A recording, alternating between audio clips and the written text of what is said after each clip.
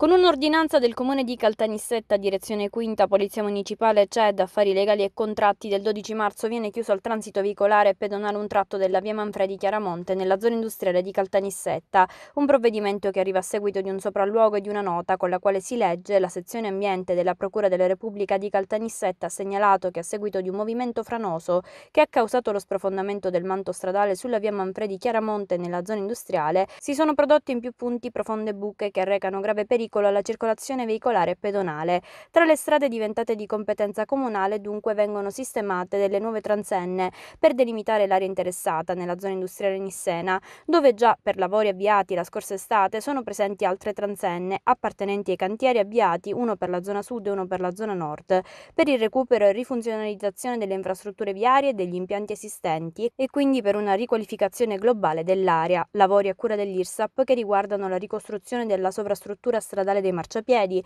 ammodernamento dell'illuminazione, interventi per la segnaletica stradale, sulla rete idrica, rete a fibre ottiche, impianto elettrico e installazione di dispositivi di sicurezza stradale, come dossi e delimitatori.